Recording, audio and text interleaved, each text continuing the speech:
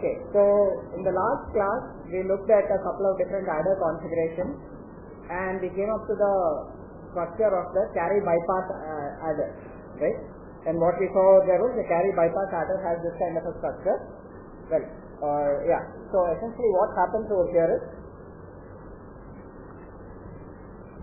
we construct two routes as far as the carry propagate signal is concerned. Right? So there are two possibilities. We know that the critical path as far as the overall adder is concerned is when the carry has to ripple through, in this case, all 15 stages. Right? For a 16-bit adder, the worst case critical path corresponds to a situation where the carry has to ripple through all the 15 stages, all the 16 stages. Okay? So what we do is we say, okay, that particular path we'll make sure it can never be the critical path. How do we do that? We provide a carry bypass path. Right? Which says that if the propagate signals for each block are such that the carry should have got propagated all the way from the input to the output of that block, then we will straight away provide a multiplexer and allow it to bypass the carry all the way from the input of the block to the output of the block. Okay. So over here, this is the PG diagram, the propagate generate diagram. These portions compute the propagate signals for each block. Right? And as and when the propagate signals over there are ready, they can basically say, okay, whether or not the carry which came in from the first stage needs to get bypassed through all those stages or not. Okay? At any point, if there is a carry which needs to skip ahead through one block, what we are saying is without having the full latency of going rippling through that block, we will allow it to bypass all the way through. Okay. We also saw another configuration of the same adder where we said we'll have one, two, three, three, two, so increasing followed by decreasing kind of a arrangement of the individual blocks. The reason for that is we want to make sure that these gaps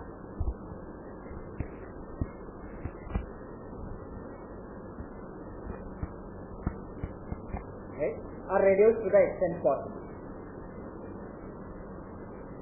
So when we go here, we find that we have sort of managed to do that slightly, at least to some extent has been reduced. On this, on the upper portion, the each time that there is a multiplexer that essentially adds one more level. So in the next level you have one additional block, one additional element in the block. Okay. But after you have reached a certain point, you then need to start decreasing from there. So this is the carry bypass adder. Okay. The next form of adder that we are going to look at is what is called the carry look ahead adder.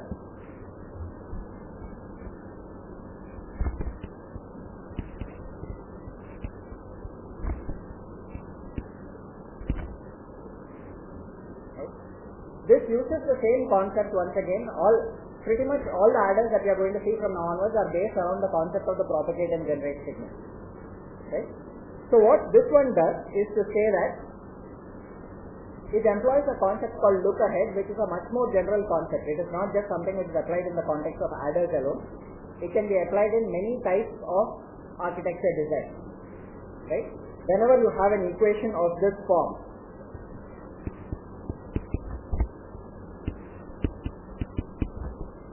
I'm just giving an example. It need not be of this particular form. It need not be addition and multiplication. What we can do over here is substitute for y of n minus 1 over here and we'll get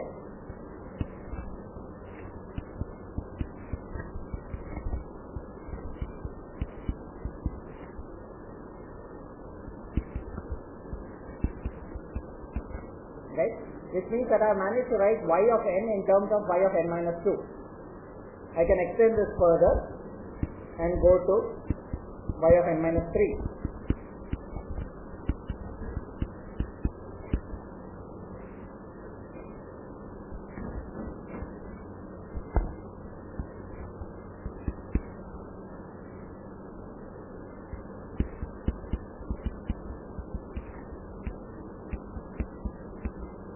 Right?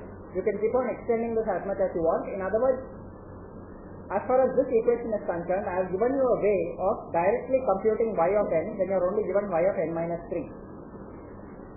Okay, you don't need to first calculate y of n minus 2, then y of n minus 1, and then calculate y of n. Given y of n minus 3, you can straight away calculate y of n. Okay. The same principle is used in the context of the propagate generate signals as well.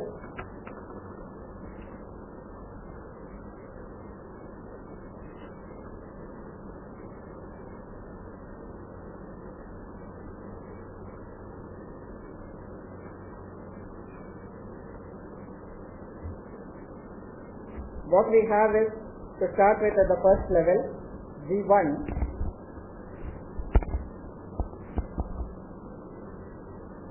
or rather G0 is A0 B0 P0 is A0 XOR B0 we know that.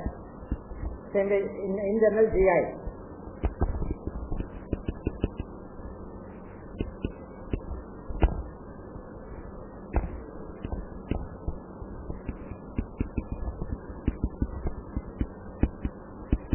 right so all the PIs and GIs can be calculated ahead of hand uh, ahead of the rest of the computation, right?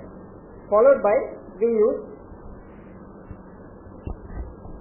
what is the equation for generating at stage 1? Either it was or uh, yeah, so this essentially means the 1 colon 0, right? So 1 colon 0, what does it say? that out of the block 1 colon 0, what is the probability that a carry was generated? This says that either it was generated at stage 1 or it was generated at stage 0 and propagated through stage 1. Right? And we saw earlier that in general for a block i colon j, this essentially can be broken up as either it was generated in the block i colon k or it was generated in the block k minus 1 colon j but then propagated through i colon k. Right? Those are the two conditions under which the block i to j will generate a carry output. Okay? So effectively what we are saying over here is we can pre-compute. We use the same look ahead concept and go ahead and pre-compute, right? What is the probability, uh, not probability, what is the condition under which a carry out is going to be generated at a particular stage, right?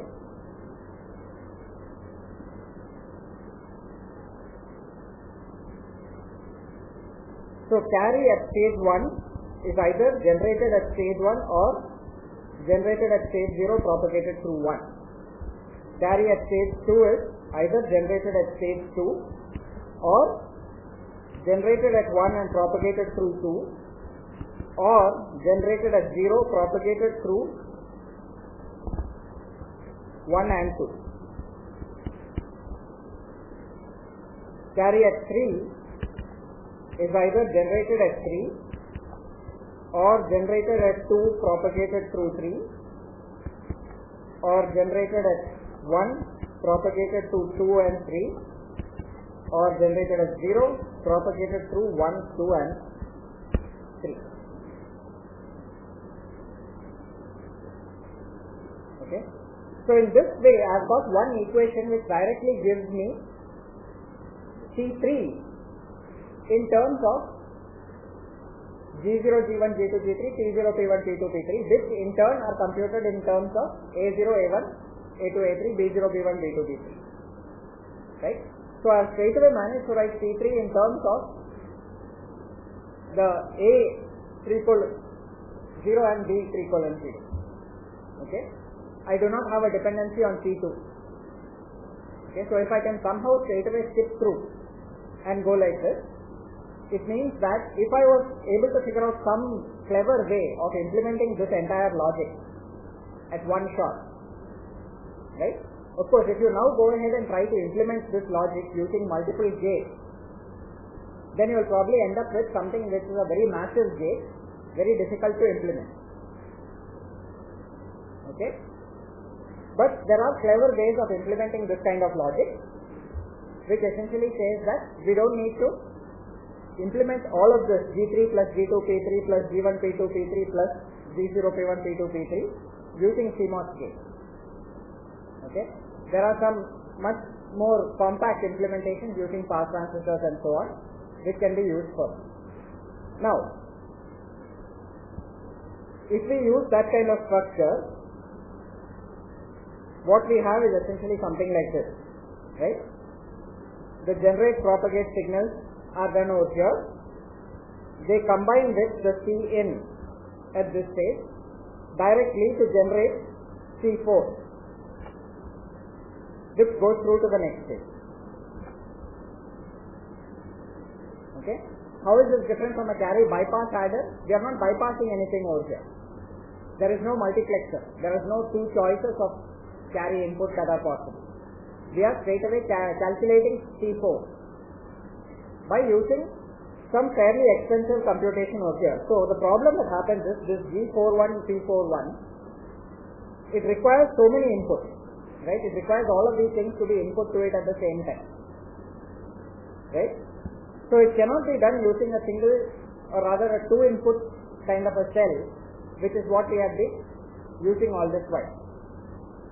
So the PG diagram for this looks slightly different. These black and gray circles that you see over here are essentially to indicate that the circle takes more than one input.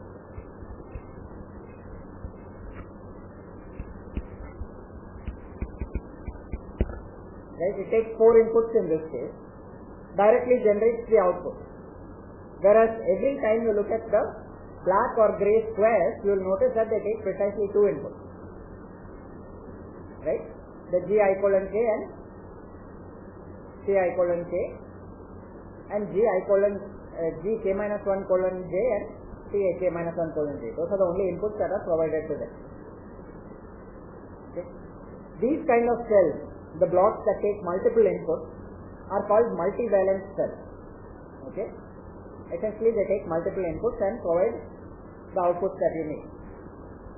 The problem obviously is that implementing such multivalent cells is going to be harder in general.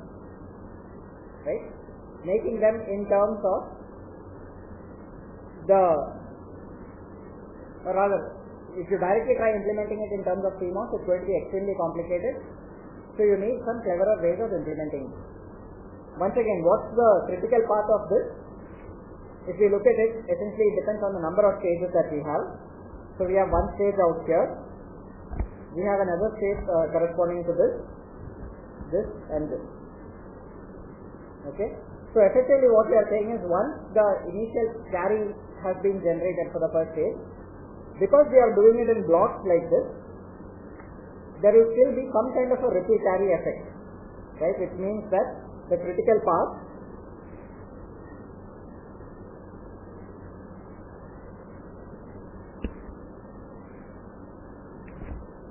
will still end up going through something like this.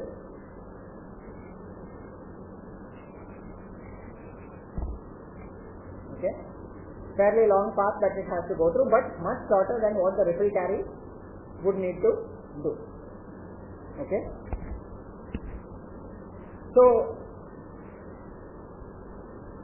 is there a limit on how far you can do carry look ahead? Why did we do only four stages? Is there a limitation? Can I straight away do 16 stage carry look ahead? In principle, yes. Right? Provided that I can figure out the way to implement the circuit for doing the carry look ahead computation without making that computation itself more complicated than a simple adder. Okay? The problem is that the carry look ahead computation at some point starts to become so complex that it competes with the complexity of a simple adder. Okay? So that should not happen. That is the main thing that we are looking for as far as the carry look ahead is concerned, which is why we break it up into blocks instead of trying to do it at one shot straight away. Alright.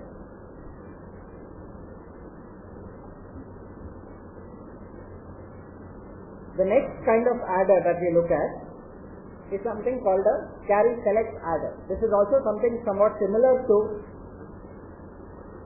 a carry bypass adder, but once again illustrates a concept that is more general, something that can be implemented in many kinds of VLSI design. Okay? The core idea over here is this. I need to compute something complex. Okay?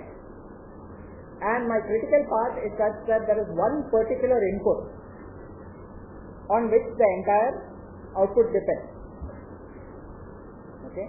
And that input essentially becomes my critical input, something which determines my critical path and therefore determines the speed at which the entire system can operate.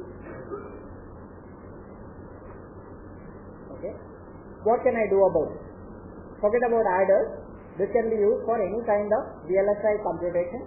In fact, for any kind of computation. It's very often used even in parallel computing and other kinds of situations where you have the ability to compute multiple things at the same time. But you are limited by the fact that you are dependent on one particular input, one or some small subset of input.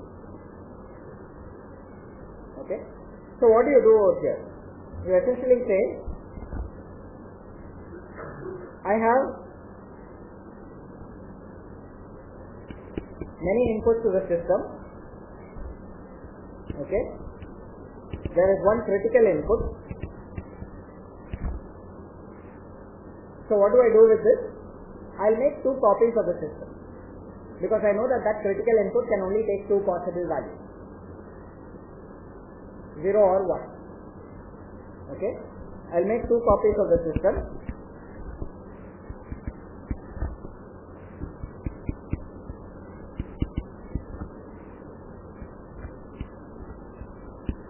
Put the entire output, not just the carry. Remember, this is the main difference between the carry bypass adder and the carry select adder. In the case of carry select, everything, the entire computation is essentially being done in parallel. There are two copies of the computation being done. Okay? This essentially means that I can apply the critical input over here and select the output. Okay? In general, this is a tricky thing to do because what happens is the amount of hardware that you need is doubled. Okay? Still, it is very often used in certain kinds of design when you specifically need to go for speed. Right? Speed is your only concern. You somehow want to take that critical input out of the critical path. You have the ability to do all your other computations quickly. So what do you do? You essentially let this go through. You pre-compute both the possible choices and just do a selection at the end. A similar kind of thing can be used even in parallel computing. Let's say that I have four processors and I want to compute something which depends on some particular input. I don't know the uh, value of that input. Okay? It takes time to compute that value. What do I do? I basically calculate for all possible values of the input what the output should be, keep them ready over there, and just do a selection at the final stage. Okay? This can be applied for many general kinds of computations, not just for the addition. Now the point is, in general, this would have been a bad idea for an adder because you have effectively doubled the hardware. Okay? But in the case of the adder at least, both of these adders right, can share a lot of logic. In particular, the propagate generate logic can be shared between both of them. Okay? So even though it looks as though I need to double the amount of hardware, that's not really true. I don't need to double it. One set of propagate generate computations can be used, but I can essentially then combine that with the adders in with the carry input in different ways. Okay?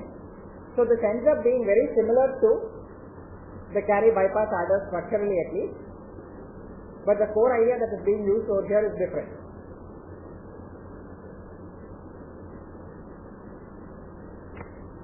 Okay? This is what the PG diagram for this looks like. Right? The main concept over here is instead of having multiplexers to decide where the carry goes, what we say is we'll do the complete addition using these black cells over here, right? For computing 5 colon 4, 6 colon 4, 7 colon 4.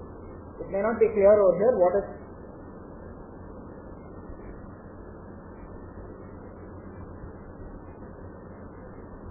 Yeah, what the black cells are computing is not just the individual propagate generate signal for that block. It is actually for everything from 5 to 4 itself. Okay, so what does that mean? What does it mean to say that the propagate that that block is cal- calculating the G5 colon 4 and P5 colon 4? It means that as soon as C4 is available, the input, straight away this output can also be computed in parallel with this.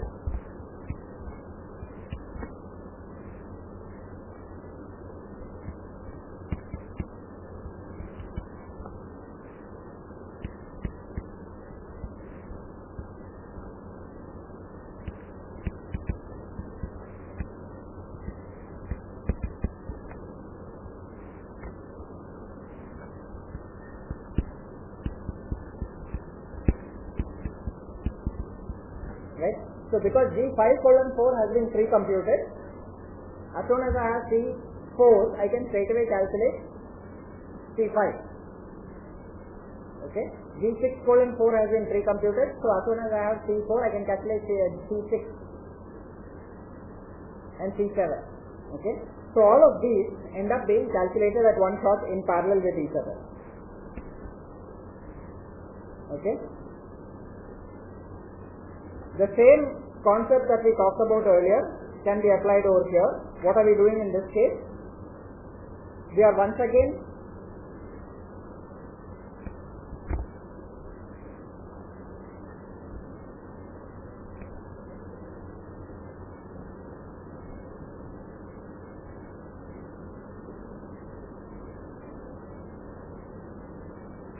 yeah once again, just like in the case of the carry bypass adder, we change the number of units in each block. Okay? So the first one has one, the second one has two, the third one has three, fourth one has four, and so on. Okay? Unlike in the case of the carry bypass adder, we don't need to go up to four and then go back down to one because we don't have that sort of reducing state that was there in the carry bypass adder. The lower part where you are once again need to ripple through the block.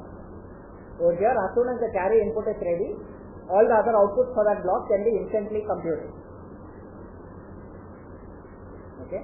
So the size of the block keeps on increasing all the way from right to left. Okay? Now, one other thing which will also come up later when in the, study of the prefix adders, one problem exists with this kind of adder with this kind of structure, with this kind of VLSI design. Can you identify what the problem is?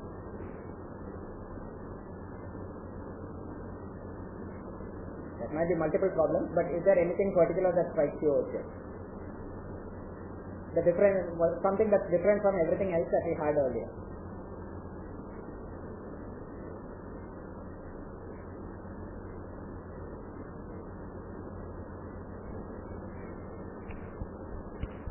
What is it? The part that I have marked red.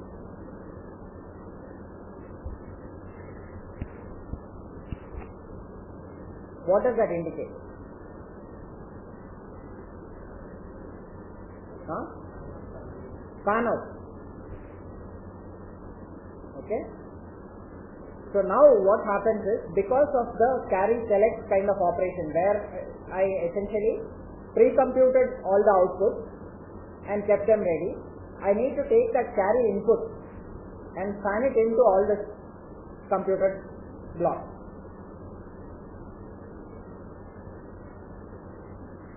Okay? So now these signals, this signal over here, this signal over here, they have high out.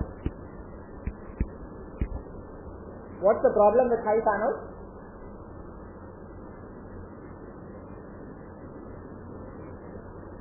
Huh? Capacitance. which means delay. Right? So when a signal fans out to a large number of inputs, effectively the total load capacitance that it is seeing is the sum of the capacitances of each of those inputs. Okay? The larger that total value, the more problematic it becomes to drive that. There is a large value of CL, it has to drive that entire capacitance. So the delay becomes larger. It might also have an impact on power, but power is not something that we can save over here. We have to drive this many inputs. Okay? But as far as delay is concerned, these high fan out signals can become a problem. They are no longer just one logic level of delay. Right? Their delay now becomes dependent on the amount of fan out and depending on the size of the transistors that are used over there, it may actually become quite significant. Is there any way that you can think of to avoid this problem?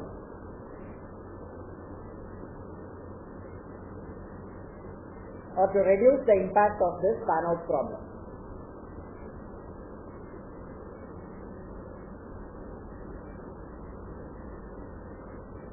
At least in some of the cases.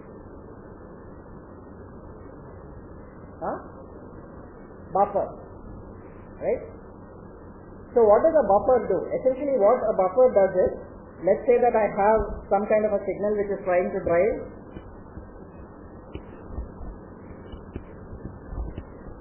many different blocks. Now, the important point is this. Let's say that this was the only critical path. Right? Why is it the critical path? Because there is something further downstream over there which actually makes it the critical path. Okay? What I am going to say is I will convert this. I will keep this unchanged. But I'll take this, put it through a buffer and then drive the other four from there. Okay? So all these paths delay has increased. But that's okay because it was not critical to start with. A slight increase in the delay on that path is acceptable. What will happen to the delay on this path? If anything, it might slightly decrease. It will not increase, it might slightly decrease. Why will it decrease? Because of the load capacitance here.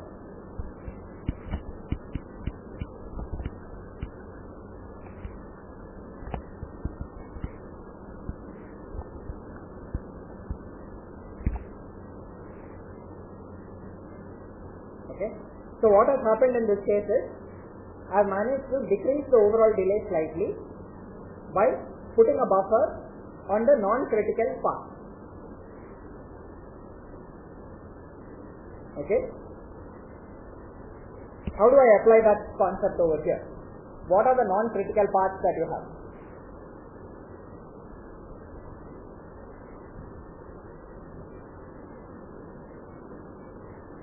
or rather which is the critical path over here.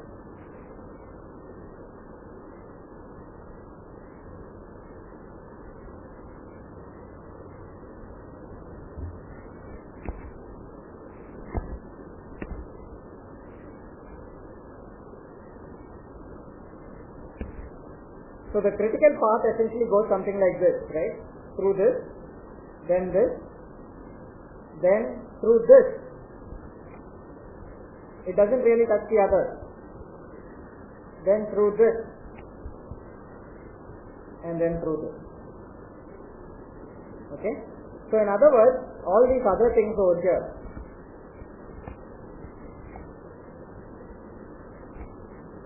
the portions highlighted in green are not on the critical path.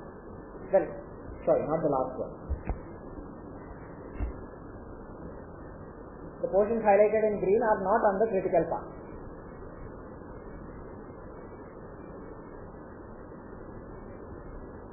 Okay. So what can you do? You make use of that and make a structure that looks something like this.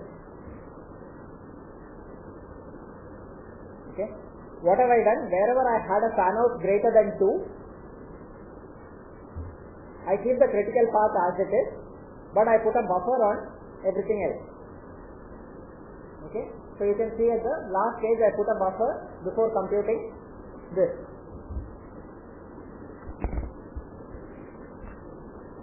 Same way I put buffers over here and I put buffers over here. Okay. So the individual load that is affecting each of those driving points has been reduced. Okay. Once again, this is a concept that can be applied to any VLSI design. It's not specific to adders. Right? So the point of all the study of adders is partly to of course understand how adders can be constructed, but more importantly, it brings out many concepts that are applied across many areas in architectural design. What do I mean by architectural design? Where I'm not talking about individual transistors, but I'm talking about building blocks.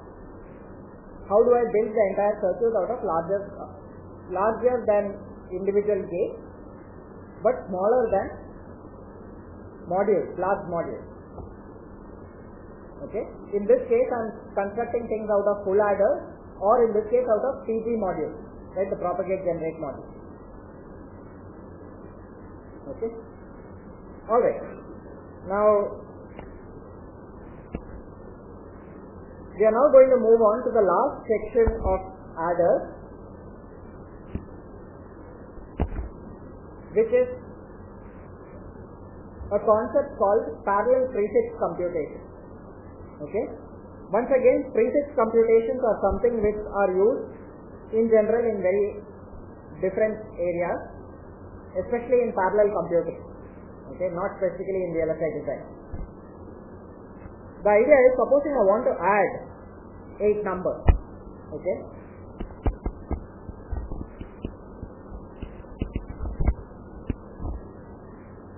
Right?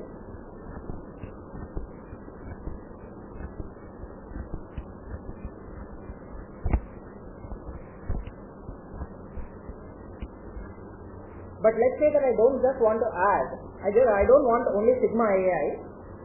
I want A1, A1 plus A2, A1 plus A2 plus A3, A1 plus A2 plus A3 plus A4, up to A1 plus A2 all the way up to A8. I want all of those outputs.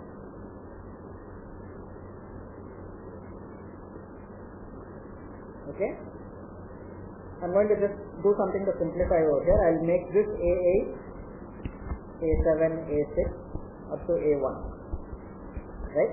The reason for this is because the right to left convention is what we use in the context of adders, so it becomes slightly easier to uh, visualize the diagram in that way. Okay? Now, what's the straightforward way of doing this? Ripple carry, right? I do A1 plus A2, I take that and add it to A3, then add it to A4, add it to A5, add it to A6, A7, A8. I get all the partial sums that I want.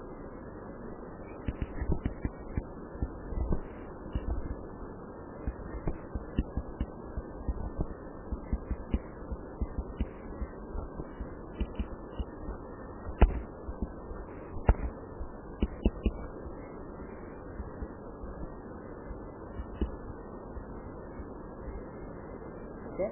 So I want all the partial sums. What I'm going to say is, if I did not ask you to calculate all the partial sums, what would have been the fastest way by which you could have just added up and given me A1 to A8? If I just give you a bunch of adders and tell you what's the fastest way to add all of these things together, how would you do it?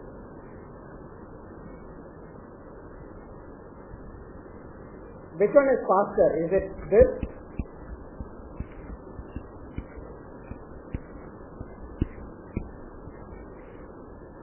or is it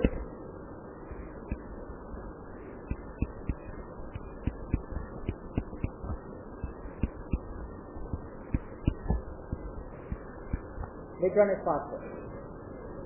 The second one, right? So the red one is faster.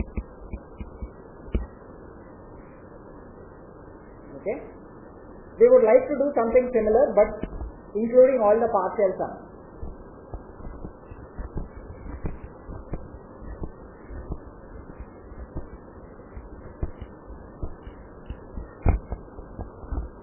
So what we are going to do is calculate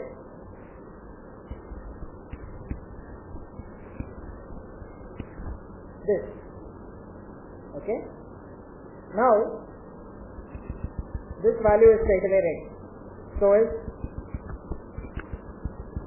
this. Okay.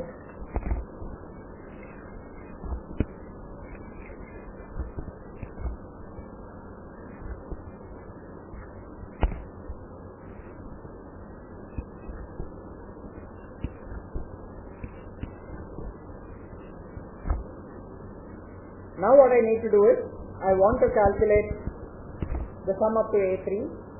What do I do? I take this and add it over here.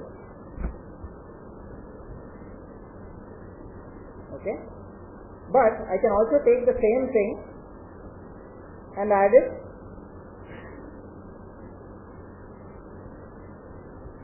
here to get A4 okay in the meantime hmm, yeah. I also calculate this.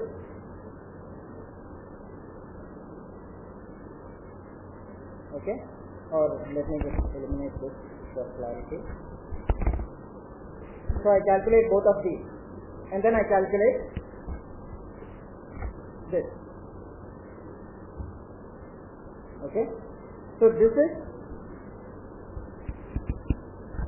4 colon 3 this is 4 colon 1 8 colon 1 8 colon 5 6 colon 5 8 colon 7 okay? Now what I can do is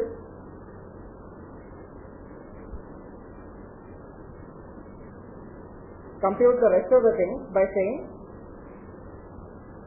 if I want 5 that's a combination of 5 and 4 colon 1 okay? 3 is a combination of 3 and 2 colon 1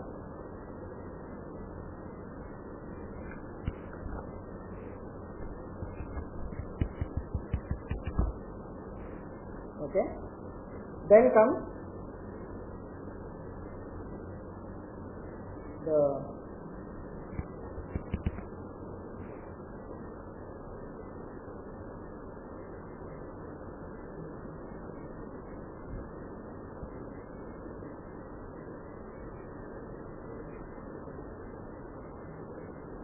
seven is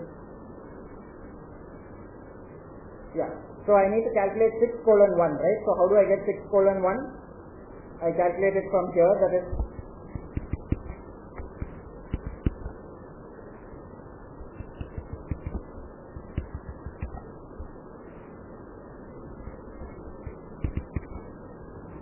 right?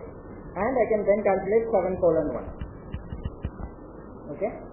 So effectively what happens is, I go through one stage where I reduce all the computations okay two at a time. And then another phase where I then scan through the rest of it. I calculate the remaining things that need to be computed uh, computed okay. So the 5 colon 1 6 colon 1 7 colon 1 can be computed in the second stage effectively what I will end up with is how many stages will be here in the first part if I have n total numbers to be added like this I will end up with log n to base 2 stages over here and in the downstream part also I will end up with log n to base 2 stages. The ripple carry adder would have required n stages. Over here I need 2 into log n taken.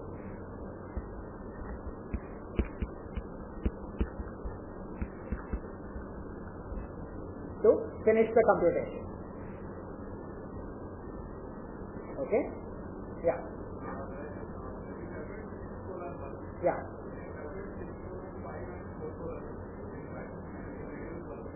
Actually, that's right. So, sorry, that's a good point. Thanks for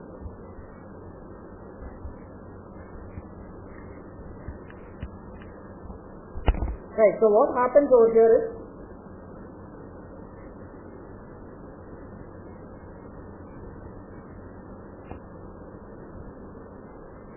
I need to get this diagram exactly right. I'll bring that to you tomorrow and give it in the complete manner. But what you can do, as you pointed out, is sorry, I got diagram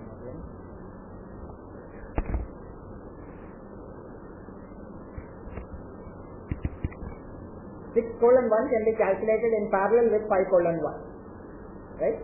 So what that means is the number of stages required for going to seven colon one is first calculate six colon one and then go to seven colon one. 8 colon 1 has already been computed. Okay. In this way you can write down under what is the optimal number of steps required for computing each of the intermediate stages. The detailed diagram for doing this I'll discuss it once again tomorrow in class. We'll stop here for now and continue with the remaining part of adders and then move on to multipliers tomorrow.